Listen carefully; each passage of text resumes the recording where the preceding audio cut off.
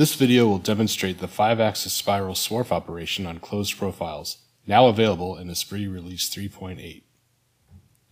A swarf operation was created using closed chain profiles on the top and bottom edge of the conical surface. The initial toolpath specifies an incremental depth, but the new Spiral on Closed Profiles enhancement is disabled.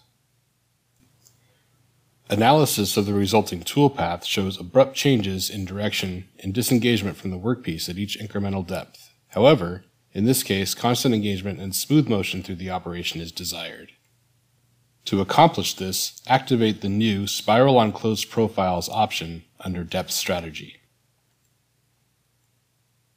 Now that Spiral on Closed Profiles is activated, notice how Esprit's dynamic user interface presents an additional option for spring passes.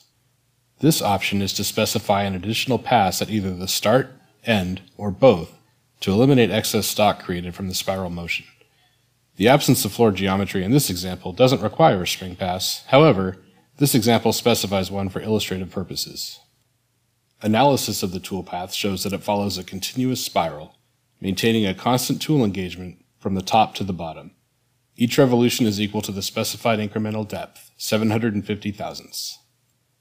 Once the spiral reaches full depth, the tool makes the end spring pass, another revolution at the final depth, ensuring that a flat bottom is generated.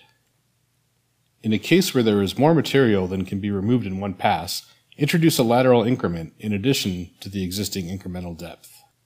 Now that the lateral increment is activated, notice that Esprit's dynamic user interface provides the choice to prioritize by either depth or lateral increment.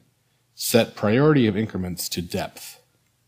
Toolpath analysis shows that with priority of increments set to depth, the tool positions at the start lateral offset value and spirals downward to the final depth.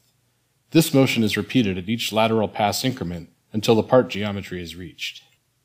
When material towards the top of the profile needs to be removed for holder clearance, lateral can be used as the priority. When priority of increments is changed, notice that Esprit's dynamic user interface moves the spiral on closed profiles and add spring pass options to the strategy that controls priority.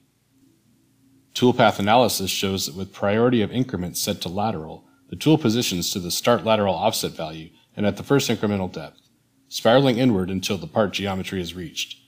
This motion is repeated at each incremental depth until the final depth is reached. Also, note that each lateral pass ends with a spring pass before disengaging and moving on to the next incremental depth. One last item to note. In Esprit Release 3.8, the orientation settings that were previously found on the Toolpath tab have been moved to their own dedicated tab, making the layout consistent with other 5-axis operations, like composite and 5-axis contouring.